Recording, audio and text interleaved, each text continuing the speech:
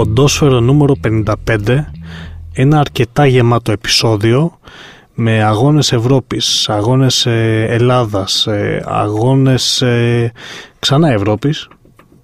Χαμός. Champions League, αλλά χωρίς ελληνική παρουσία. Ε, αγώνες, όχι στα δικαστήρια που είπαμε την προηγούμενη εβδομάδα, αλλά σε αίθουσες της FIFA και της UEFA για να περάσει ένας κανονισμός ή όχι. Τρομερό. Γενικά αγώνες διαρκείας. Ναι. Έτσι. Ε, θα το πάμε λίγο πιο χρονικά, πιο σωστά ιεραρχικά. Θα αρχίσουμε με Ελλάδα και θα προχωρήσουμε στα καθέκαστα μέχρι να φτάσουμε στο σημείο να λύσουμε το πρόβλημα του ποδοσφαίρου που θα το κάνουμε στην τέταρτη ενότητα. Έτσι, Λευτέρη Ελευθερίου. Όπως το κάνουμε κάθε, σε κάθε podcast. Συνήθως ε, φτιάχνουμε ενδεκάδε. Κάποιοι γίνονται... Κάνουμε τη δουλειά του προπονητή. Τώρα θα κάνουμε και τη δουλειά των ε, στελεχών, των παραγόντων. Είναι πολύ σοφότεροι οι όταν μας ακούνε. Ναι. Ε, αυτοί που ακούν το τέλος μόνο και την αρχή; Αυτοί ε, που το σήμα, το ήχο. Το... Όχι, αυτοί σίγουρα δεν γίνονται στο φώτερ. Γιατί, γιατί να το κάνουν αυτό; Ε, σωστό γι' αυτό. Ε, περνάμε λοιπόν στην πρώτη μας ενότητα. Είναι η ενότητα που αφορά τον Ολυμπιακό και το τι θα πρέπει να κάνει και ο Ολυμπιακός, αλλά και κατ' επέκταση μια ελληνική ομάδα όταν έχει μπροστά της μια ευρωπαϊκή πρόκληση, αλλά και μια πολύ σημαντική ε, εγχώρια πρόκληση. Ο Ολυμπιακός αυτή τη στιγμή, ας πούμε, βρίσκεται σε ένας μεγάλος σταυροδρόμι όπου έχει να ασχοληθεί με πέντε ντέρμπι με τον Μπάουκ, γιατί έχει γίνει και η κλήρωση των ημιτελικών του κυπέλου Ελλάδας. Αυτό είναι το ένα από τα δύο ζευγάρια, το άλλο είναι το Αεκάρι. Και από την άλλη έχει να ασχοληθεί με την Revans του αγώνα της φάσης των 32 του Europa League με την Arsenal. Μια διοργάνωση που έχουμε πει και στο παρελθόν ότι οι ελληνικές ομάδες έπρεπε να την παίρνουν λίγο πιο σοβαρά, ειδικά όταν δεν κληρώνονται με την Arsenal, αλλά με ομάδες mm. πιο χαμηλού βεληνικού ναι, ναι, ναι. όπως π.χ. Σταντάρ Λιέγη ή Ουκρανικές ή οτιδήποτε. Στην προκειμένη περίπτωση όμως ε, ποια πιστεύεις ότι πρέπει να είναι η σωστή οδός που ακολουθεί ο Ολυμπιακός με βάση τους στόχους που θέτει η ομάδα; Καταρχάς έχει την ευκαιρία να κάψει το παιχνίδι, το παιχνίδι της Κυριακής. Υπό την έννοια όχι να μην, να μην το πάει σοβαρά, αλλά να μην το πάρει ότι πρόκειται για το άπαν. Καθώς αφού παραμένουν τέσσερα παιχνίδια, αφού παραμένουν, έχει τέσσερα παιχνίδια με τον Μπάουκ, σίγουρα θα έχει ευκαιρία να επανορθώσει και στο ψυχολογικό και στο ηθικό και στο πρακτικό στάδιο. Δηλαδή διαβάζοντας κιόλας πώς θα παίξει η Ντούμπα ή με τον Αμπέλ να δίνει στον Μαρτίνς κάτι από τακτική, πιθανότατα να μπορέσει να αντεπεξέλθει στο τέλος. Κατά τη γνώμη μου, ούτως ή άλλως το ζευγάρι με την Arsenal δεν μπορείς να το αφήσεις άμα θες να λέγεις επαγγελματίας. Άμα θες να λέγεις επαγγελματίας προπονητής, επαγγελματίας ποδοσφαιριστής, άμα θες να, να είσαι κάποιος που σέβεται κιόλας τα χρώματα της ομάδας που φοράει και αυτό που λέει το εννοεί, δηλαδή ότι όπως όλοι οι ποδοσφαιριστές ακολουθούν ένα μοτίβο, τους στείλει σε ένα μεγάλο κλαμπ. Θεωρώ ότι ακόμα και αν δεν το, δεν το πίστευαν πολύ αυτό που λαμβάνουν ως περιραίους ατμόσφαιρα τους οδηγεί εκεί είναι κάτι μοναδικό για τους περισσότερους εξ αυτών και γι' αυτό πολλοί παραμένουν στην ομάδα αφού τελειώσουν την καριέρα τους και αφού κρεμάσουν τα παπούτσια τους. Οπότε έχω την αίσθηση ότι το παιχνίδι στην Τούμπα αν σοφά πράττοντας δεν θα πω ότι στο λιμάνι θα πρέπει να μην νομίζουν ότι είναι το άπαν. Έχουν, σου λέω ακόμα πιστεύω, ε, θεωρώ, δύο παιχνίδια τα playoff είναι γεγονός. Δύο ημιτελική κυπέλου είναι επίσης γεγονός. Οπότε ουσιαστικά θα βαρεθούν να βλέπουν ο ένας τον άλλον και αυτό θα σημαίνει ότι θα υπάρξουν και άλλες ευκαιρίες. Ειδικά για τον Ολυμπιακό. Προφανώς ε, δεν υπάρχει, ε, για τον Πάκο δεν υπάρχει αυτή η ευκαιρία. Ε, αλλά για τον Ολυμπιακό, ειδικά, νομίζω ότι το να τελειώσει το πρωτάθλημα με ένα βαθμό πίσω δεν λέει και πάρα πάρα πάρα πολλά πράγματα. Δεν είναι προφα... προφανώς δεν είναι ευκταίο αλλά δεν λέει και πάρα πολλά πράγματα. Ε, η ημιτελική του κυπέλου, να πούμε λίγο ημερομηνίες για να καταλαβαίνει και ο κόσμος τι εννοείς, ε, είναι ε, 4 και 5 Μαρτίου ο πρώτος αγώνας, δεν έχει ακόμα διευκρινιστεί ποια ημέρα ακριβώς. Και 22-23 Απριλίου ο δεύτερος αγώνας. Ο πρώτος αγώνας θα γίνει μετά το τέλος της κανονικής διάρκειας και πριν την έναρξη των play-off, Ακριβώς. όπου ακόμα δεν ξέρουμε, δεν έχει γίνει κλήρωση των play-off, οπότε π.χ. μπορεί η πρώτη αγωνιστική που θα είναι εκεί 7-8 Μαρτίου να είναι Παναθηναϊκός, ε, Πάω Ολυμπιακός ΠΑΟΚ. Ναι, ναι, ναι, έχει δίκιο. Λοιπόν, οπότε σίγουρα θα παίξουν ρόλο και τα ημιτελικά αυτό που είπες. Όχι βαθμολογικό προφανώς, αλλά σίγουρα σε άποψη ψυχολογία, σε άποψη γοήτρου, σε άποψη να ξέρεις τι παίζει ο ένας και πώς παίζει ο αντίπαλος.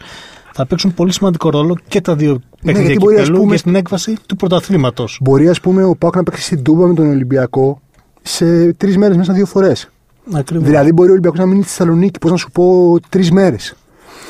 Όχι, αλλά Ε, ναι, τέλος πάντων, αν θα μπορούσε να επιλέξει για αυτόν τον εδώ. Δεν γίνεται. Ναι, έχεις δίκιο ότι δεν γίνεται. Ε, για Αλλά- πολλούς λόγους Για πολλούς όχι. λόγους, για ευνοήτου λόγους. Καταρχάς θα κάνει προπόνηση. Αλλά. στο Αλλά- χαριλάω. Ε, Σωστό, Δεν σωστό. θα, θα έχει Σωστό. πρόβλημα, πιστεύεις; ο Άρης δεν θα έχει κανένα Δεν πρόβλημα. θα έχει κανένα πρόβλημα, μάλιστα. Ε, αλλά νομίζω ότι πραγματικά δίνεται πολύ μεγαλύτερη σημασία. Δεν ξέρω. Δίνεται πολύ μεγαλύτερη σημασία στην κανονική περίοδο από ό,τι πρέπει. πρέπει. Το καταλαβαίνω γιατί είναι πρώτη χρονιά που δουλεύει ένα σύστημα τέτοιο. Ωστόσο οι ομάδες κάναν τη δουλειά τους αυτήν τη στιγμή τα έχουν λυθεί όλα τα, όλοι οι προβληματισμοί που θα μπορούσαν να έχουν τόσο στην κορυφή όσο στην 3-4 θέση ακόμα και πιο κάτω που θα έχει ένα, μια περισσότερη αγωνία για την έκτη θέση αλλά και για την 1-2-3-4 τα πράγματα έχουν τελειώσει. Δεν έχουμε να αναρωτιόμαστε τίποτε άλλο. Μπορούν άνετα οι προπονητές, παραδείγματος χάρη, όχι ο Ολυμπιακός δεν έχει αυτή την ευχαίρεια, αλλά οι προπονητές των άλλων ομάδων να κάνουν ένα φόρτωμα στην προπόνηση και μετά να αφήσουν να κάνουν το φορμάρισμά τους τη στιγμή που πρέπει. Αν αρχίσουν, ας πούμε, όταν γίνονται οι ημιτελικοί του κυπέλου Ελλάδος. Ή μπορεί να έχουν ήδη αρχίσει το φορμάρισμα. Δεν θεωρώ ότι ο ΠΑΟΚ, δηλαδή όχι ο οργανισμός, αλλά ο ίδιος ο Αμπέλ και ο ίδιος ο Μαρτίνς δεν θεωρώ ότι παίρνουν τόσο πολύ σοβαρά αυτό το μάτς. Δεν θεωρώ ότι διακυβεύεται κάτι. Δεν νομίζω ότι ό,τι και να γίνει την Κυριακή, για αυτούς που μας ακούνε πριν την Κυριακή, θα διακινδυνεύσουν οι ίδιοι κάτι επαγγελματικά. Δεν γίνεται. Αλλά δεν νομίζω κιόλας ότι θα παίξει και το μείζοντα ρόλο εκτός, και θα το συνεχίσουμε αυτό, αν ο Ολυμπιακός περάσει Ναι, άμα, νικητής. και γενικά άμα υπάρξει και κάποια συντριβή, δηλαδή και ο Ολυμπιακός άμα χάσει Ναι. 4-0 Αν- ή άμα εντάξει. ο Πάου χάσει 4-0 Ναι, με άμα- την Τούμπα, ναι, θεωρώ ε, ότι- θα υπάρξουν εξελίξεις. θα υπάρξουν, δεν ξέρω τώρα κατά πόσο ας πούμε Ωραία. ο φανατισμός, της, πραγμα- της, ε, ο φανατισμός από ένα αποτέλεσμα και η οργή που θα δημιουργήσει θα είναι ικανές αυτό το χρονικό σημείο, συγκεκριμένα αυτό το χρονικό σημείο. σημείο. Το, το πιστεύω και εγώ ότι θα είναι, σε είδα που έκανες, που ένεθες Ε, ναι. καταφατικά. Λοιπόν, πρόσεξε όμως, έτσι όπως μου το λες, ε, από ό,τι καταλαβαίνω ότι θα ήθελες ο Ολυμπιακός να ασχοληθεί λίγο παραπάνω με τη ρεβάνς της επόμενης Εννοείται. εβδομάδας με την Arsenal στο Εννοείται. Λονδίνο. Ανεξαρτήτως του αποτελέσματος του πρώτου παιχνιδιού, ΟΚ, ότι θα ήταν σοφό να, να κυνηγήσει π.χ. μια πρόκριση, η οποία όμως θα του φέρει ακόμα δύο παιχνίδια και θα επιβαρύνει ακόμα παραπάνω το πρόγραμμα Ναι. του. Ναι, ναι, ναι. Απλώς, κοίταξε, γενικότερα ως, ως ε, ε, μια Αν ομάδα και που βέβαια, συνεχίζει Ε, να το πούμε γι' αυτό, άμα προκριθεί ο Ολυμπιακός, ε, νομίζω θα πρέπει να αναβληθεί ο ένας ημιτελικός του κυπέλου. Γιατί πέφτει, Πέφτει- πέφτει ανήμερα. πέφτει η εβδομάδα Ναι, που ναι, ναι. θα υπάρχει Θα γίνει αγώνας για τη φάση των 16 του Europa ανακατάξιο. League. Καταρχάς, καταρχάς Οπότε ε, γίνεται ακόμη πιο δύσκολο γιατί θα μπει μέσα στα play-off και ο πρώτος ημιτελικός του κυπέλου. Ναι. Καταρχάς, μιλώντας πολύ φιλολογικά, είναι, δεν είναι αποδεκτό από, τον, από μένα, δηλαδή από αυτόν, από αυτόν που μιλάει, να αφήνεις ευρωπαϊκό μάτς. Δεν είναι, δεν είναι αποδεκτό. Γενικότερα. Δεν υπάρχει καν το. Πώς να σου πω. Η βάση. Δεν έχει δημιουργηθεί η βάση ώστε να δικαιούται μια ομάδα να αφήνει ένα ευρωπαϊκό μάτς ή μια διοργάνωση ολόκληρη επειδή κυνηγάει κάτι άλλο. Πρέπει να βρει τον τρόπο να, να πάρει το άλλο που κυνηγάει και τουλάχιστον να είναι αξιοπρεπής στη διοργάνωση που τρέχει. Δεν θεωρώ ότι πέρυσι ο Ολυμπιακός δεν ήθελε να περάσει την δυνάμω Κιέβου, ούτε ότι ήταν αδιάφορος. Αλλά θεωρώ ότι έχει υπάρξει αδιάφορος σε φάση του 32 του Europa League. Πέρυσι έχασε από μια ομάδα πιο σκληρή, είχε και κάποιες ατυχίες. Το πρώτο παιχνίδι ψιλοστράβωσε. Θα μπορούσε να είναι νίκη και να πάει με άλλο αέρα στο Κίεβο που ήταν ανταγωνιστικός πάρα πολύ παρά ας πούμε το 1-0. Ήταν ανταγωνιστικός, θα μπορούσε να έχει πετύχει γκολ, είχε κάποιες φάσεις. Δεν νομίζω ότι ε, άφησε τη διοργάνωση πέρυσι και δεν έχω λόγο να θεωρώ ότι θα την αφήσει φέτος. Ναι, εντάξει, ούτε εγώ πιστεύω ότι θα την αφήσει τη Ρεβάνς. Απλά θεωρώ ότι ε, άμα εσύ λες ότι υπάρχουν, ε, υπήρξαν περιπτώσεις που ελληνικές ομάδες υπήρξαν αδιάφορες στο, στο κύπελο UEFA, στο Europa League, ναι, εγώ πιστεύω ότι σχεδόν πάντα στα νοκάουτ είναι αδιάφορες. Α, πιστεύω ότι σχεδόν πάντα, ναι, ναι, ναι, ναι. Όταν βλέπουν τα δύσκολα, όταν βλέπουν μια εύκολη ομάδα, ΟΚ. Okay. Όταν ναι. βλέπουν τα δύσκολα, προτιμούν να ασχοληθούν με τα εντός των συνόρων. Ναι. Εκτός αν αυτά είναι διευθετημένα. Δηλαδή, π.χ. ΑΕΚ Παναθηναϊκός τώρα, άμα παίζανε Ευρώπη, προφανώς θα ασχολιόντουσαν με την Ευρώπη, αφού εντός των τειχών δεν έχουν να διεκδικήσουν κάτι στο πρωτάθλημα. Ναι. Ε, στην προκειμένη περίπτωση, λοιπόν, εγώ, αν ήμουν προπονητής του Ολυμπιακού, πολύ απλά θα παρατούσα το δεύτερο αγώνα με την Arsenal. Γιατί καλός ή κακός είναι η Arsenal. ΟΚ, okay, είναι μεγάλο outsider ο Ολυμπιακός στη λογική του, του διεθνούς ποδοσφαίρου. Ναι. Ακόμα και οι στοιχηματικές εταιρείες δηλαδή τον δίνουν προτελευταίο φαβόρι για να κατακτήσει το τρόπαιο. Ναι. Που σημαίνει ότι βρίσκουν άλλες 25-30 ομάδες πολύ πιο πιθανό. Ακριβώς. Μόνο θα φορτώσει το πρόγραμμά του και θα μειώσει, θα ψαλιδίσει τις ελπίδες για τους δύο άλλους στόχους που έχει, που θεωρώ ότι είναι πιο μεγάλοι για τον οργανισμό Ολυμπιακός. Για το τι σημαίνουν γι' αυτό, για αυτό τον οργανισμό, ναι. Καλός ή κακός. Ναι, Γιατί ναι, ναι. μπορεί κανονικά να είναι λάθος να βάζει το πρωτάθλημα πιο πάνω ναι, από ναι. μια ευρωπαϊκή για, πορεία. Για μένα είναι ξεκάθαρο. Okay. ξεκάθαρο δεν, δηλαδή είναι παραλογισμός. Για μένα είναι παραλογισμός. Δεν υπάρχει κανένα, κανένα, καμία αμφισβήτηση και κανένα επιχείρημα που να μου δείχνει ότι βάλει το πρωτάθλημα πάνω από μια ευρωπαϊκή πορεία. Ακριβώς. Τουλάχιστον για τον Ολυμπιακό. Ο Πάουκ που έχει λιγότερους τίτλους ή απήχε τόσο καιρό, να το καταλάβω ότι θα βάλει τους εγχώριου τίτλους. Ναι, εν πάση περιπτώσει, δυσκολεύομαι να το δεχτώ ακόμα και αυτό. Αλλά, Αλλά εν πάση περιπτώσει. Αυτή ναι. τη στιγμή, ναι, θεωρώ λάθος μεν ότι αυτό κάνει ο Ολυμπιακός. Έχει δε. αυτή την ψύχωση που θα έλεγε και μια ψυχή. Αλλά εφόσον το κάνει, θα πρέπει να το κάνει σωστά. Οπότε πρέπει να παρατήσει το παιχνίδι με την Arsenal. Η, η γνώμη μου είναι ότι υπάρχει και αυτό που λέμε ευρωπαϊκό προφίλ. Οπότε, άμα είναι να παρατήσει το παιχνίδι με την Arsenal, πρέπει να το κάνει κάπως πιο τεχνιέντο για να μην χάσει πόντους Το να χάσει από μάτια. Στο Λονδίνο δεν να, είναι. Να, να, μην, να μην φανεί ότι το παρατάει. Εντάξει. Η, υπερβολική ρέξη Ναι, ναι, παρατάω, ναι. αλλά πιστεύω ότι μετά από 55 επεισόδια, 54, όλοι καταλαβαίνετε πώς το εννοούμε. Ναι. Ε, γενικά λοιπόν έχουμε μέλλον μεγάλο, κυρίως με πολλά πάκο Ολυμπιακός και ίσως και με κάποιο τελικά Ολυμπιακός ε, Φράιμπουργκ, ε, Αποέλ, ε, Ολυμπιακός Βόλσμπουργκ, Ολυμπιακός Ρώμα ή Ολυμπιακός Άγιαξ. Ε, Το Ολυμπιακός Άγιαξ μου άρεσε πάρα πολύ. θα σου άρεσε και το αποτέλεσμα; Δεν ξέρω, θα μου άρεσε το διασκέδασα πάρα πολύ ως, ως φάση των 16 του Europa League θα το διασκέδασα. Να το δούμε λίγο και τη σκοπιά του ΠΑΟΚ τώρα αυτό το Φυσικά. κυριακάτικο ντέρμπι πρωταθλήματος που Φυσικά καταρχάς τον, τον βολεύει η κλήρωση του Μπάουκ, η κλήρωση του κυπέλου του Μπάουκ. Δεν ξέρω. το βολεύει πάρα πολύ γιατί έχει αποδείξει ότι είναι η ομάδα των νοκάουτ, έτσι. Όντως, απλώς επειδή άμα είχε πέσει με οποιονδήποτε άλλον από τους τρεις αντιπάλους, θα είχε την ευκαιρία να δώσει και παραπάνω ενέργεια στο παιχνίδι με τον Ολυμπιακό τώρα, διότι θα αργούσε υποθετικά να τον ξαναβρει. Δεν θα αργούσε πάρα πολύ, αλλά καταλαβαίνεις ότι αν, έχουν περά... αν έχει περάσει ο πρώτος ημιτελικό του κυπέλου, είναι σαν να ολοκληρώνεται ένα κεφάλαιο. Δηλαδή δεν ξέρουμε ακριβώς την επίδραση που θα έχουν. Θα έχει το μάτι της 25η αγωνιστικής, ο ημιτελικό του κυπέλου μέχρι να ξαναβρεθεί με τον Ολυμπιακό στο επόμενο παιχνίδι. Ε, γιατί να μην. Τι, ποιο είναι το ερώτημα, καταρχάς; Το ερώτημα είναι άμα μπορεί ο, Ολυμπιακ... ο ΠΑΟΚ να ε, κερδίσει τον, ε, να νικήσει τον Ολυμπιακό σε αυτά τα μάτσα. Α μην ε, σταθούμε μόνο στο μάτς πρωταθλήματο. Ναι. Α, σε όλα Γενικά τα σε αυτή μάτς. τη σειρά αγώνων και γενικά αν μπορεί τελικά να βρεθεί από πάνω ή όχι στα ντέρμπι, όχι στον τελικό στόχο. Ναι, ε, και Δηλαδή, να πω ότι η ομάδα που έχει κατακτήσει το πρωτάθλημα, το τελευταίο πρωτάθλημα, είναι η ομάδα που έχει τις περισσότερες πιθανότητες από τη στιγμή που φτάνει σε τέτοια παιχνίδια να έχει το γνώθι της καταστάσεως, να ξέρει το τι πρέπει να κάνει. Μπορεί πέρυσι να ήταν ένας περίπατος στο πάρκο κυριολεκτικά και να μην υπήρξαν, υπήρξαν πάρα πολλές δυσκολίες, αλλά όπως είπες και εσύ, είναι πολύ καλός στα knockout παιχνίδια. Τα playoff έχουν μια τροποντινά ύφανση knockout παιχνιδιών υπό την έννοια ότι είναι δύο.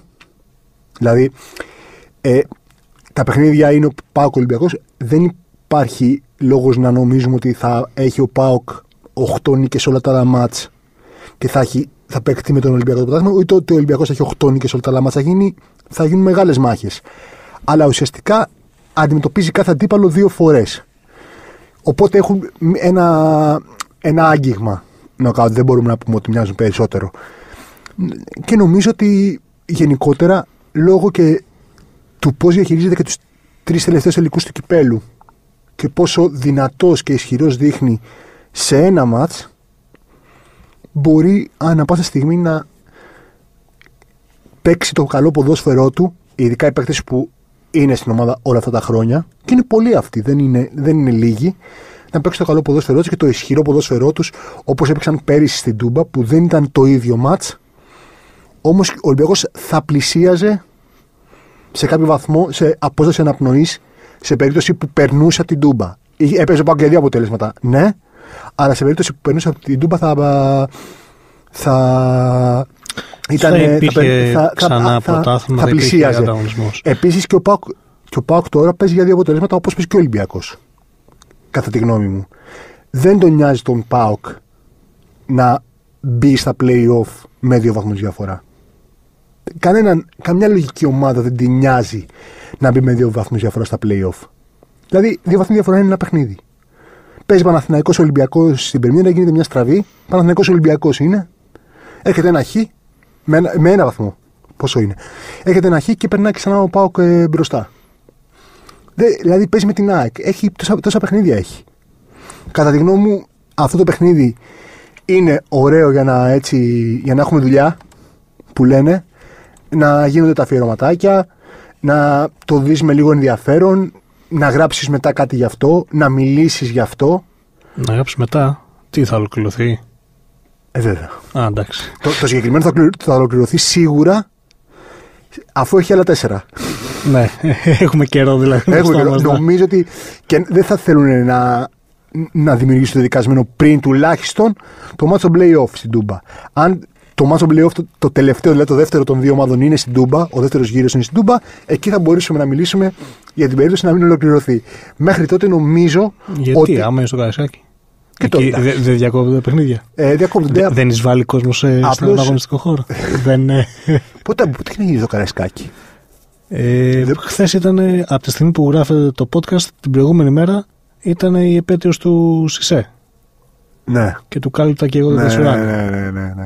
Ε, νομίζω είχε εισβάλει κάποιος κόσμος ναι, σε ναι. αυτό το μάτς. Νομίζω, έχω την ε, αίσθηση. Αυτό είναι 2000. Για να πανηγυρίσουν προφανώς. Ναι, ναι. Είναι 2010, δεν είναι αυτό το παιχνίδι, ναι. Ε, οι 2011 αρχές. Κάτι τέτοιο. Ναι, ήταν 2011 αρχές. Οπότε.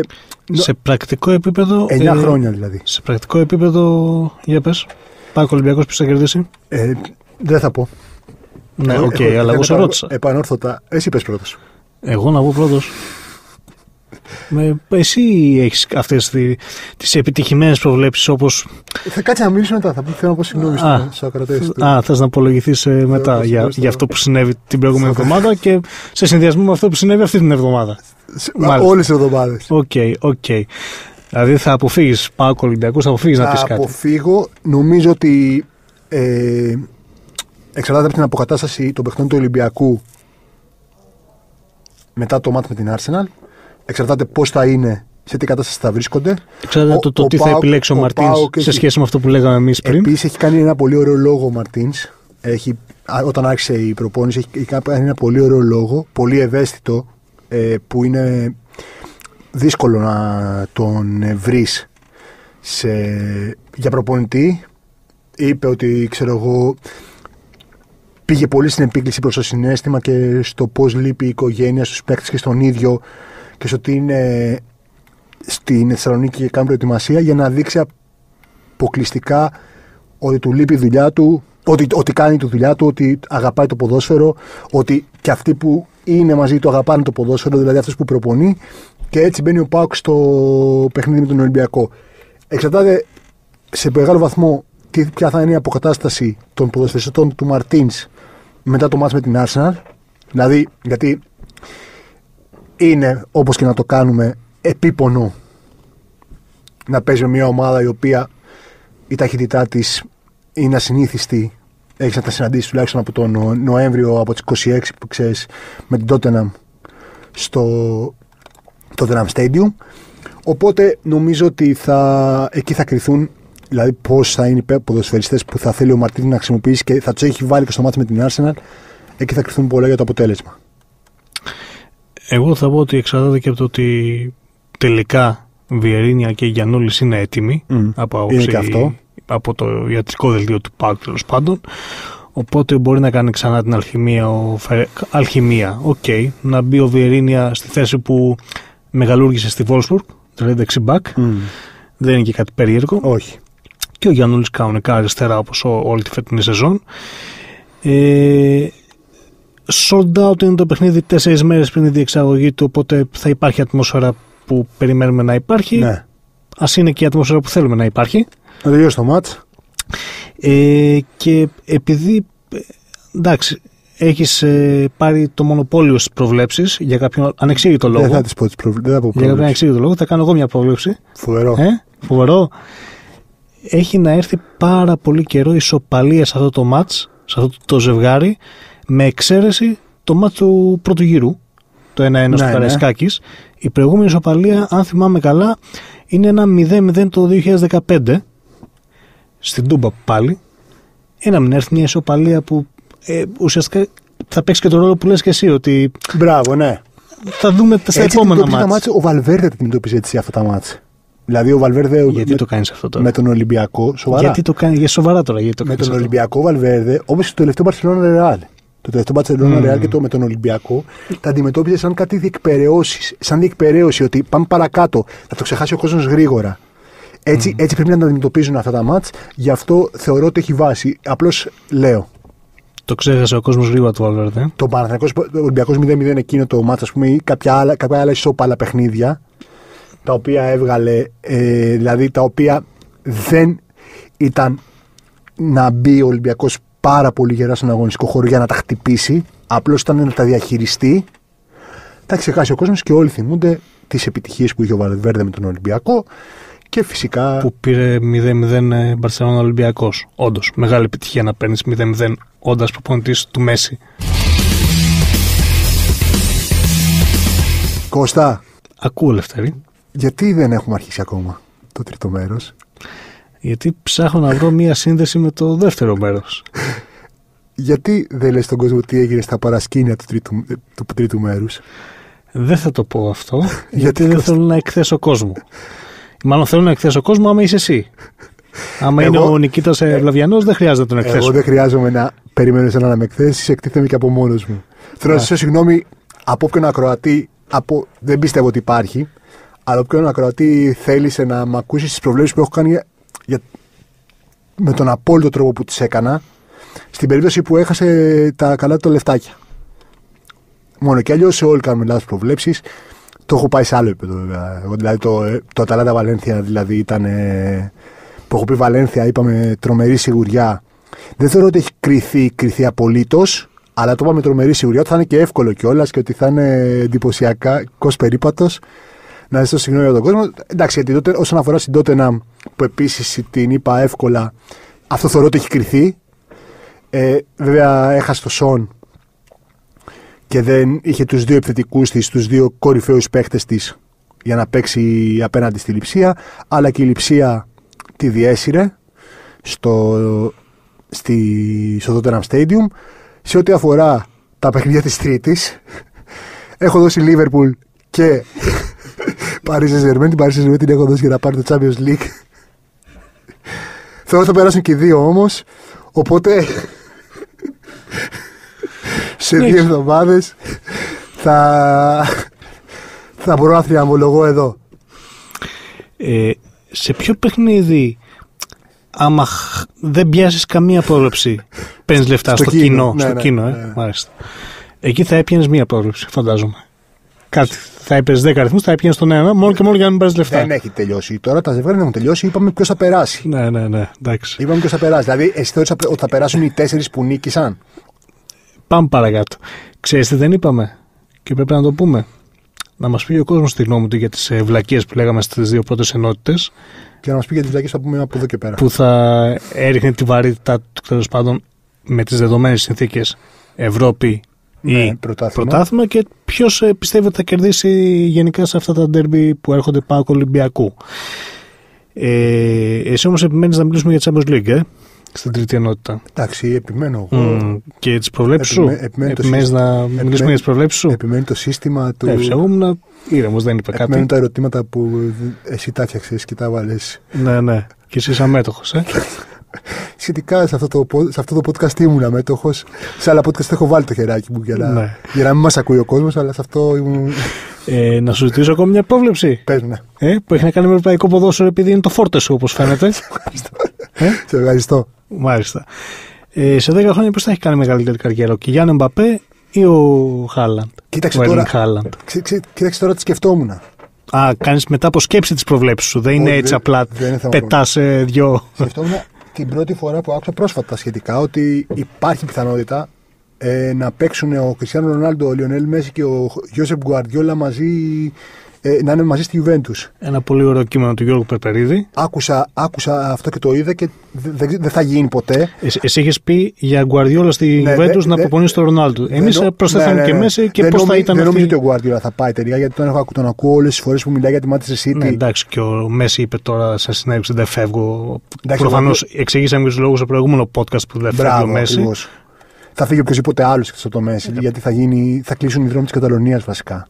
Είναι και αυτό. Είναι, είναι, Θα σε- χωριστεί η Βαρκελόνη στα δύο, πιστεύεις; είναι σενάριο. Μην, μην αρχίσει να κλείσει. Α, Είναι σενάριο, συγγνώμη. είναι σενάριο το οποίο θα ζήσουν πρωτόγνωρα πράγματα στην πόλη. Σε περίπτωση που φύγει και σε περίπτωση που κατηγορηθεί κάποιος άλλος ότι φεύγει. Γιατί άλλο είναι να φύγει ο ίδιος και να πει φεύγω, παιδιά, συγγνώμη, φεύγω. Δεν, ε, θέλω να δω και κάτι που αλλού που υπάρχει ζωή. Εντάξει, ποτέ δεν θα το έκανε με αυτόν τον τρόπο. Με άλλο τρόπο θα Ακριβώς. το έκανε. Ακριβώς, οπότε θα χωριστεί η Βαρκελόνη στα δύο, οπότε θα μείνει και θα πάρει και τα λεφτά που θέλει. Σε ό,τι αφορά τον Guardiola, επειδή τον είναι και, προ, και χθες και πριν, τις- πριν από μερικές μέρες να μιλάει μετά το παιχνίδι του αθλήματος, είμαι πεπισμένος ότι δεν θέλει να το κουνήσει αν δεν τον απολύσουν. Αν τον απολύσουν, νομίζω ότι η Juventus τον περιμένει ε, με ανοιχτές αγκάλες. Έχω αυτή την αίσθηση. Ε, τώρα με τα προβλήματα που έχεις ήδη με το Financial Fair Play και τη βαριά τιμωρία της, Είναι και αυτό δύσκολο να πάντως- το τιμωρήσει, γιατί θα, ουσιαστικά θα αποδεχτεί την ήττα της Ναι. η City. Όντως. Και... Οπότε νομίζω ότι θα μείνει. Οπότε νομίζω ότι θα μείνει. Ε, είπε και κάτι κουφό, ας πούμε, και στην Championship. Είπε, είπε άμα με θέλουν θα παραμείνω προπονητής. Ε, Ναι, στη League στη, 2. στη League 2, ναι, ρε παιδί μου, θα παραμείνω Ναι. προπονητής στη City. Οπότε για μένα είναι σημαντικό. Δεν ξέρω αν θα το Α, Αυτό κάνει. είναι σημαντικό, αυτό μετράει γιατί στην τρίτη ενότητα αυτό είχαμε πει να πούμε. Εδώ και πέντε λεπτά δεν έχουμε μιλήσει για το θέμα μας. Αλλά αν το κάνει, ε, θα μπορεί και η Manchester City να διεκδικήσει να πάρει τον Erling Haaland. Όλο αυτό ήταν πρόλογος για να πεις αυτό. Να σου πω. Θεωρώ πω. ότι, ας πούμε, ότι αυτό το split που έκανε ο Χάλαντ το 664 στα 60 μέτρα που έκανε είναι για μένα το έχω μαζί με τον γκολ του Ιμπραήμοβιτ με την ε, Αγγλία. Δηλαδή το έχω μαζί σε θέαμα. Το ψηλιάστηκα όταν το είδα στην κανονική διάρκεια, στην κανονική ροή του μάτς. Αλλά μόνο το, όταν το είδα στο ημίχρονο που έχουν φωτίσει το Χάλαντ να πηγαίνει, είναι σαν να, είναι, να μπαίνει ένας γυμνιστής στο γήπεδο, αλλά πολύ γρήγορος. Δηλαδή, πώς είναι οι γυμνιστές που μπαίνουν στο γήπεδο και μετά αρχίζουν και τρέχουν. Είναι έτσι, αλλά πολύ γρήγορος. Μιλάμε το, το παλικάρι έτσι σαν να βλέπα το Sin City. Το πρώτο. Ή, να, να χοροπηδάει, ξέρω εγώ, βράχους και τέτοια. Λες και λες ήταν ήρωας του Ροντρίγκες και των παλιών κόμιξ. Τι ήταν αυτό; Αυτό ήταν ένα 19χρονο παιδί. Πω, πω. Ταλεντάκι. Εντάξει, δεν ήταν ένα 19χρονο παιδί οποιοδήποτε. 664, 664 έγραψε χθες ε, τη προηγάλες ο Γιάννης Ζωητό ότι είναι η 653η καλύτερη επίδοση όλων των εποχών στα 60 μέτρα. Και είναι μόλις 30 εκατοστά. Ε, Μιλάμε δηλαδή μεταξύ στιβικών. Και είναι μόλις 30 εκατοστά κάτω από το παγκόσμιο, πάνω από το παγκόσμιο ρεκόρ. Αλλά επίσης έγραψε, ή μάλλον δεν ξέρω αν το έβαλε, άμα είχε τα κότσια να το βάλει, ότι ο Παυλακάκης, ο Γκαβέλας και ο Παπαδιά ήταν πιο γρήγορα από το Χάλαν. Τι έχεις να πεις, κύριε Χάλαντ, ε, τι έχεις να πεις; Ωραία. Λοιπόν, 11 γκολ με την Dortmund. Ε, ο μόνος που έχει βάλει κάτω από πάνω, ε, διψηφίο αριθμό γκολ K20 στην ιστορία του Champions League. Ο πρώτος σκόρερ του Champions League. Ο πρώτος που βάζει 10 γκολ με δύο ομάδες του Champions League. Ε, ο Ο- πρώτος που φτάνει τόσο νωρίς τα 10 γκολ του Champions League με Ναι. το προηγούμενο ρεκόρ να είναι του Κιλιάν Εμπαπέ. Ακριβώς και γι' αυτό να μιλήσουμε. 7 μάτσο Χάλαν, 18 Εμπαπέ. Ναι. Είναι λίγο άδικο βέβαια αυτό που με ρώτησες στην ανάπαυλα για, το, για τα γκολ, ας πούμε. Που, με, όχι, δεν με ρώτησες. Που μου είπες ότι ο Χάλαντ έχει βάλει 60 γκολ στα. Ο Χάλαντ έχει βάλει στα πρώτα 100 διασυλλογικά παιχνίδια της καριέρας του 60 γκολ, ο Εμπαπέ 27. Ναι. Ε, ο Εμπαπέ δεν έπαιζε σε αυτήν τη θέση από την αρχή. ΟΚ. Δηλαδή ο, Μπα- ο Εμπαπέ έπαιζε σε μια ομάδα που είχε το Φαλκάο και ο Φαλκάο έπαιζε στην κορυφή και ο Εμπαπέ έπαιζε δεξιά. Και γι' αυτό επανέρχομαι στην αρχή και λέω πόσο θεϊκό θα ήταν να παίξει ο Εμπαπέ σε μια ομάδα δεξί, χαφ, ε, δεύτερος κυνηγός και ο Χάαλαντ ε, φουνταριστός. Και ο Σάντσο, άμα είναι να μπει και αυτός σε αυτή την Δεν ομάδα. ξέρω για τον Σάντσο. Και έχουμε την καλύτερη επιθετική τριπλέτα του 2030. Νομίζω, ότι, δηλα- νομίζω δηλαδή ότι είναι α- αλληλοσυμπληρωματικό πολύ περισσότερο από συγκρίσιμο. Δηλαδή, πώς σου λέγα τι προάλλε ότι η Παρή είναι λίγο έτσι μια ομάδα σφιγμένη, λίγο μια ομάδα που πει καταπιεστική με κάποιον τρόπο πνιγυρή. Νομίζω ας πούμε ότι ο Χάλαντ πήγε στην ομάδα χαρά της ζωής. Ο Εμπαπέ παραμένει σε μια ομάδα που δεν. παρόλο ότι είναι στο Παρίσι και παρόλο ότι κάνει, θα κάνει και αυτό τη ζωάρα του λογικά, δεν του. μάλλον το έχει κόψει, το έχει απορροφήσει με κάποιον τρόπο τη χαρά και είναι και. Εντάξει, ήδη έχει τσακωθεί πόσες φορές με τον προπονητή του και σε δημόσια θέα. Ναι, Αυτό δεν το λες χαρά και Ακριβώς. καλό κλίμα. ναι. Οπότε, δηλαδή και τώρα βλέπουμε εδώ πέρα με τον Αλεξάνδρ Άλλον να είναι ο Χάλαντ, ο Εμπαπέ και ο Αλεξάνδρ Άλλον στην ίδια ομάδα. Θα ήταν πολύ καλά. Καλό, ε. Κοίτα, ε, μιλάμε για δύο Wonder Kids. Μιλάμε για τον ορισμό, ας πούμε, Ακριβώς. του Wonder Kid. Ακριβώς. Όσοι περιμέναμε να δούμε, ας πούμε, το Haaland και σε μια πιο μεγάλη ομάδα, σε ένα πιο δύσκολο ποτάθμα, σε ένα πιο ε, δύσκολο απαγορευτικό ίσως για κάποιους επίπεδο, ε, παίρνουμε την απάντησή μας και ε, είναι ένας πολύ καλός παίκτης. Ένας παίκτης που αξίζει να βρίσκεται στο επίπεδο που βρίσκεται και αξίζει τη δημοσιότητα που έχει. Ακριβώς. Ο Εμπαπέ μας το απέδειξε και αυτός σε αυτό το πράγμα ένα-ενάμιση χρόνο μετά την εμφάνισή του ε, αφού οδήγησε τη Μονακό μαζί με τον Φαλκάγκο τους υπόλοιπους παίκτες και τον Στα μη Ζαρτίν τελικά. ε, αρχικά στην κατάκτηση του Και κατά δεύτερο πρωταθλήματος αθλήματος, ε, που εις ήταν βάρος της ε, Paris εντυπωσιακό. Saint-Germain ε, και κατά δεύτερο λόγο μέχρι τα ημιτελικά του Champions League ε, και χωρίς να, να είναι τόσο με- τυχερή η Μονακό ή να μην το Ακριβώς. αξίζει τόσο πολύ ή να Και μην... μια να από τις μην- να καλύτερες μην- City και μια από τις καλύτερες City της, ε, της θητείας του Γκουαρδιόλα. Ε, καταπληκτικ, και, και είναι τα παιχνίδια καταπληκτικά και τα δύο δηλαδή δεν ε, υπήρχε. Νομίζω ότι και ξανά το λέω ότι ο Παπά ήταν διαφορετικός, δια, έπαιζε διαφορε- σε διαφορετική θέση από ό,τι παίζει τώρα στη Μονακό. Δηλαδή έπαιζε λίγο πιο άκρο. Δεν ήταν ο παίκτης που θα έμπαινε στην περιοχή και θα τη διεμβόλησε. Παρ' όλα αυτά και Εντάξει, αυτό το κάνει τώρα, ας πούμε, καταπληκτικά. Στην Παρί υπάρχει ο Ικάρντι, υπήρχε ο Καβάνη που είναι πιο κοντά στο Ναι, κουτί, ναι, ναι, αλλά ναι. ναι, και ο Εμπαπέ δεν Έχει είναι και ο τόσο, Εμπαπέ- ο τόσο Εμπα- Ο άκρη. Εμπαπέ κιόλας δεν έχει και τρομερό άγχος γιατί αυτό που έκανε το 2018 στη Ρωσία θα μνημονεύεται για πάντα. Ωραία, δηλαδή έγινε ο πρώτος έφηβος που έβαλε γκολ σε τελικό παγκόσμιο κυπέλο μετά τον Μπελέ. Δηλαδή είναι στην ίδια κατηγορία με τον Μπελέ. Και αυτό δεν πρόκειται να αλλάξει και δεν είναι στην ίδια κατηγορία με τον, Μπελέ, με τον τρόπο που ήταν ο Ζιστ Φοντέν κάποτε πρώτος σκόρερ για πάρα πάρα πολλά χρόνια και παραμένει ο πρώτος σκόρερ του παγκόσμιου κυπέλου και είναι απλώς ο Ζήστ Φοντέν και σαν να μην έχει υπάρξει ποτέ αυτό το πλάσμα. Είναι ένας ποδοσφαιριστής που έχει αφήσει το αποτύπωμα του ήδη στο ποδόσφαιρο και πρόκειται να το, αφ- να, να το αφήσει ακόμα και αργότερα. Τώρα από εκεί και πέρα, για μένα χρειάζεται ομάδα που να μπορεί να παίξει ποδόσφαιρο. Ο Χάλαν τη βρήκε την ομάδα αυτή πολύ, γρη- πολύ γρήγορα ώστε και να προετοιμαστεί για την ε, ενιαψήφια μεταγραφή που πρόκειται να πάρει. Η ρίδα του είναι 75 εκατομμύρια, αλλά κάτι μου λέει ότι ο Ράιολα που είναι ο, ο ατζέντης Μμ. που ασχολείται με το Χάλαντ, δεν είναι ο ατζέντης του, είναι ο ατζέντης που ασχολείται μετά του Χάλαντ. Ε, θα κάνει ένα προσαρμογή γρήγορα του συμβολέου Ακριβώς. του ώστε να αυξηθεί η ρήτρα και Ναι, να μπορεί να, διπλάσια πια, θα γίνει, να διπλάσια- πάει διπλάσια θα εννιά γίνει. ψήφιο ποσό και Εντάξει, να τώρα πάρει και την. ε, Έχει βάλει ο άνθρωπος σε 10 γκολ στην Dortmund. Δηλαδή σε 7 παιχνίδια δεν μέχρι έχει, στιγμής. δεν, έχει μετα, δεν έχει μεταγραφεί ένα μήνα που λέει ο λόγος. Και έχει βάλει 10 γκολ στην Dortmund. Ε, δεν Δηλαδή, ήξερε τους συμπαίκτες του, δεν, δεν, ήξερε έχει. κανέναν. Μπήκε, και- μπήκε αλλαγή και βάλε hat trick και βάλε σε 10 λεπτά hat trick. Δηλαδή έχει βάλει αυτά. Ε, είναι επίπεδο Λεβαντόφσκι και καλύτερο σε, σε διάρκεια σκοράρίσματο. Ήταν αδιανόητο το γράψει ο Γιάννης πάλι στο ίδιο κείμενο. Σα- κάθε, γκολ κάθε 41 λεπτά. Άρα γιατί είναι χειρότερος στο Εμπαπέ. Δεν είπα ότι είναι χειρότερος. Άρα γιατί είναι καλύτερος στο Εμπαπέ. Είπα ότι μπορούν να παίξουν και οι δύο μαζί ε, στην ίδια ομάδα. Θα ήταν καταπληκτικό να παίξουν και οι δύο μαζί. Τώρα θα ήθελα, τώρα θα ήθελα, δηλαδή αύριο να μπορούσα να τους δω συμπαίκτες στην ίδια ομάδα. Επειδή είναι, είναι πολύ. Μία φορά γίνεται να είσαι νέος και σπουδαίος.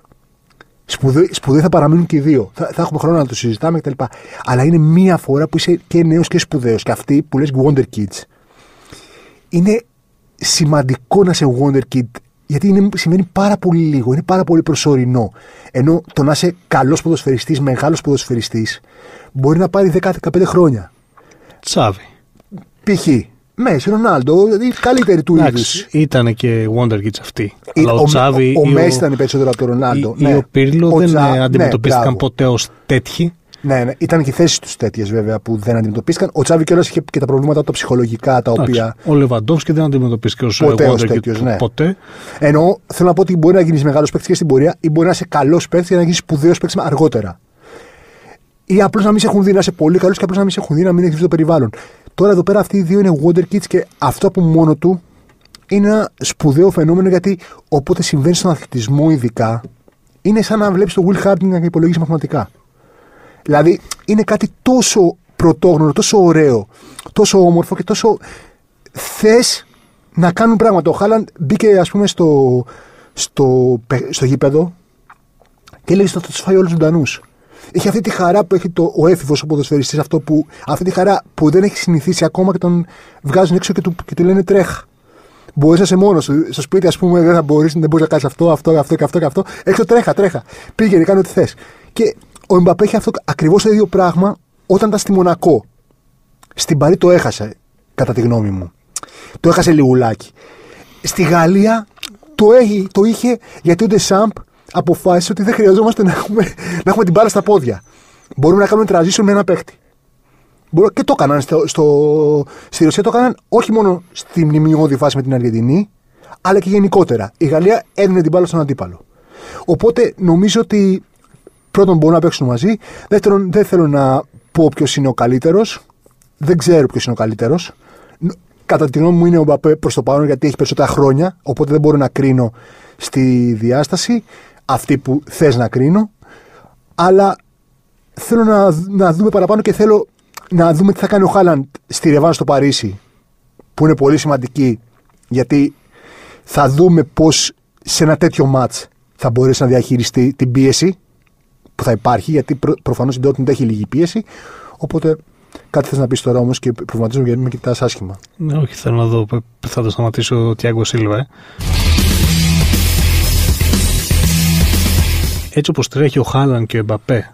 Άστα να πάνε. Δεν θα, κανονικά, δεν θα πρέπει να αλλάξουμε τον κανονισμό του offside γιατί αλλιώς θα βγαίνουν συνέχεια offside. Κοίταξε, θα είναι πάντα μπροστά από τον ε, τελευταίο, πρώτο-τελευταίο αμυνόμενο. Αν τώρα θα εκθέτει το replay τον, ε, χα- τον βοηθό, το συνεργάτη διαιτητή στην εξωτερική γραμμή που θα σηκώνει τη σημαία και ο Χάλαν θα έχει, ξέρω εγώ, μισό μέτρο, θα, καλύπτει- θα έχει καλυφθεί μισό μέτρο από τον παίκτη, από τον αμυντικό φαντάσου πόσο θα τον εκθέτει το 2021 που θα περάσει ένα κανονισμός στο offside και δεν θα ξέρει κανένας αν οι φτέρνες έχουν. Αυτό δηλαδή είναι σαν να φτιάχτηκε αυτός ο κανονισμός για αυτούς τους δύο παίκτες. Ακριβώς. Α ε, κατασταθεί το ποδόσφαιρο, δεν μας νοιάζει, αλλά τουλάχιστον θα ευνοηθούν αυτοί γιατί θα αρχίζουν τις κούρσες τους εκεί πέρα.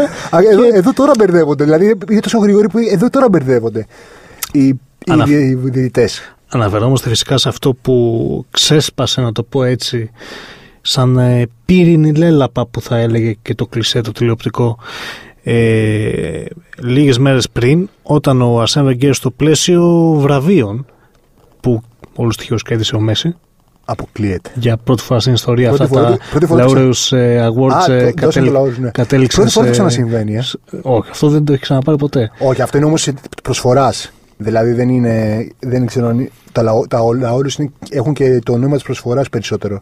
Ο Φέντερ, ας πούμε, έχει πάρει Πέρυσι πολλά. είχε μικρότερη προσφορά ο Μέση.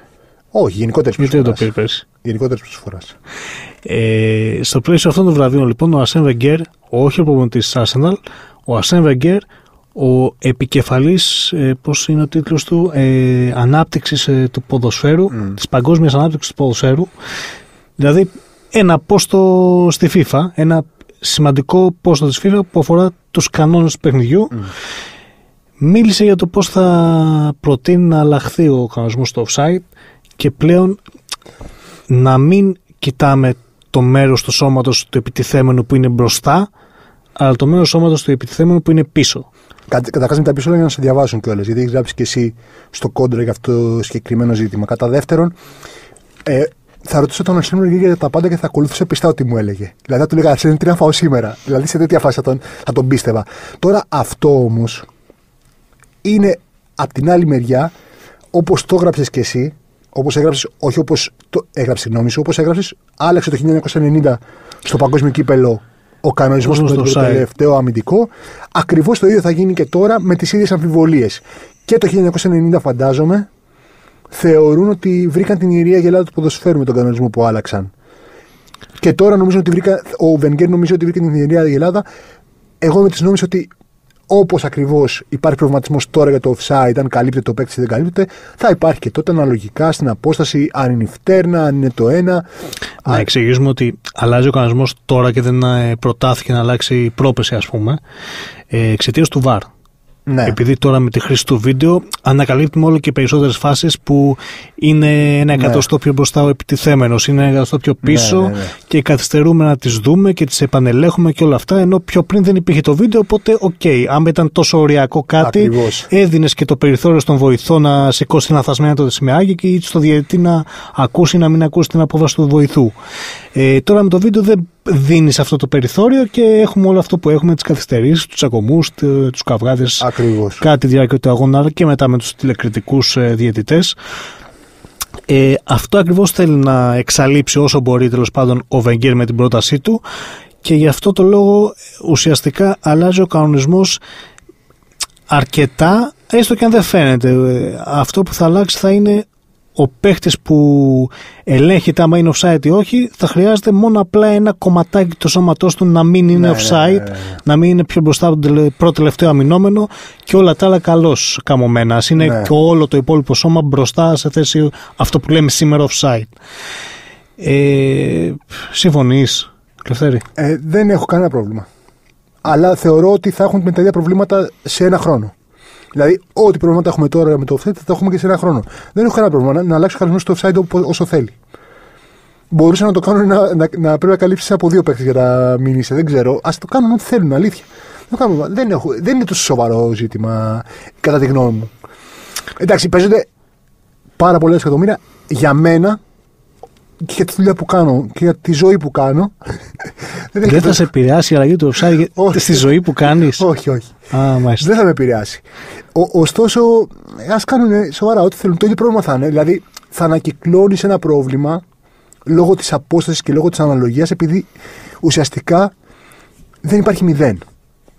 Στα, στα μαθηματικά και στη φύση δεν υπάρχει μηδέν. Από τη στιγμή που δεν υπάρχει μηδέν, οποιαδήποτε είναι η απόσταση που χωρίζει τον έναν άνθρωπο από τον έναν άλλον, όσο και να την εξαλείψεις, όσο ξεκάθαρη και να την κάνεις, πάντα θα υπάρχει κάτι που θα σε εμποδίσει να είσαι σίγουρος για αυτό που βλέπεις. Κυρίως στην πρώτη ε, οπτική επαφή που κάνεις.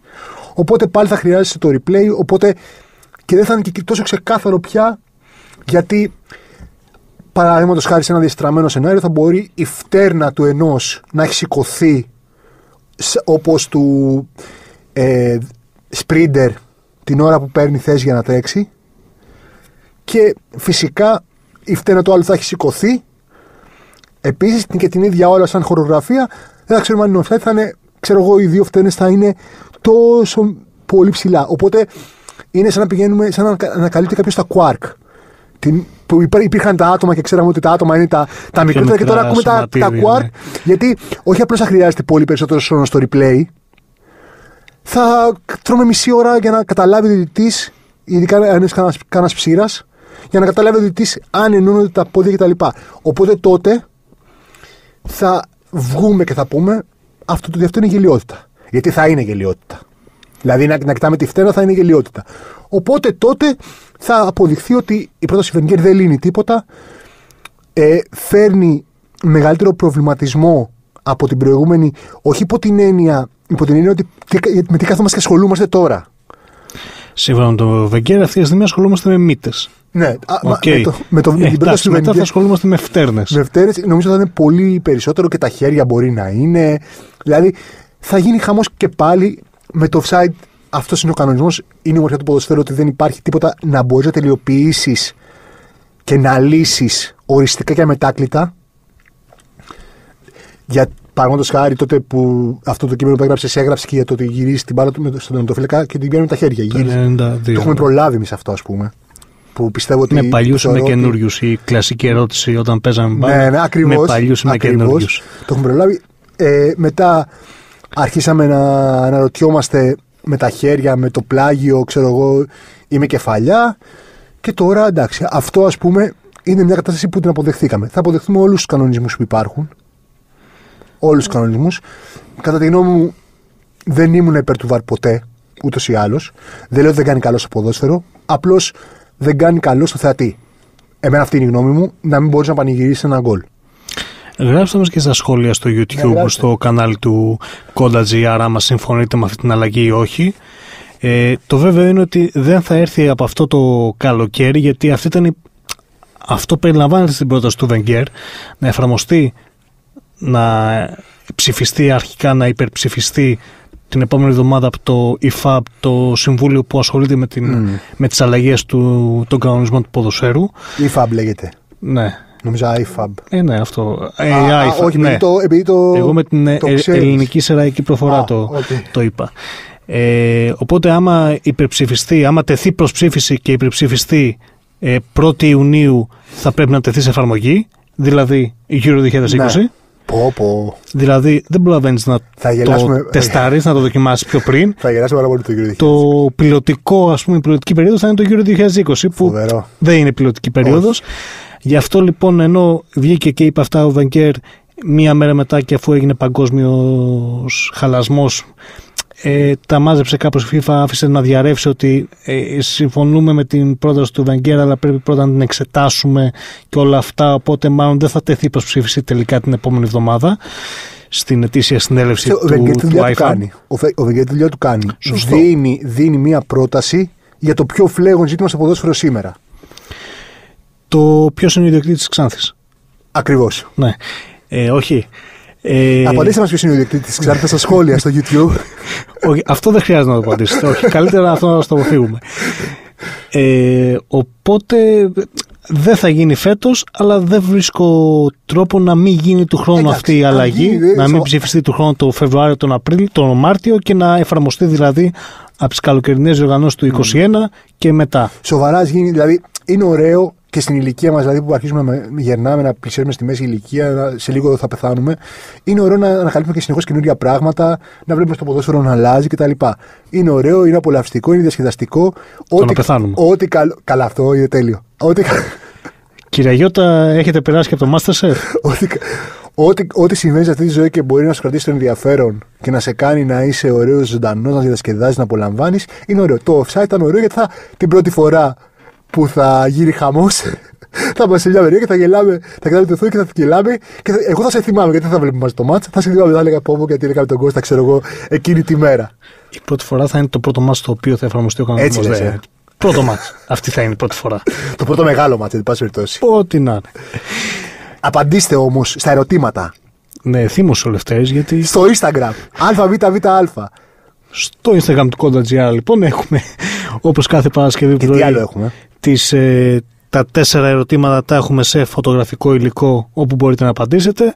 Έχουμε το podcast κάθε Παρασκευή πρωί το καινούριο podcast στο κανάλι του YouTube εκεί όπου απαντάτε και τα σχόλια. Ε, το έχουμε και σε διάφορες σχετικές πλατφόρμες όπως το Spotify, το iTunes, το Podbean, το Castbox, ε, Ποιο, Σταμάτα. πόσο ξέχασα. το Χαϊμαλάια. Υπάρχουν ένα σωρό υπάρχουν. Χαϊμαλάια. Που τα, τα τροφοδοτούμε κάθε εβδομάδα.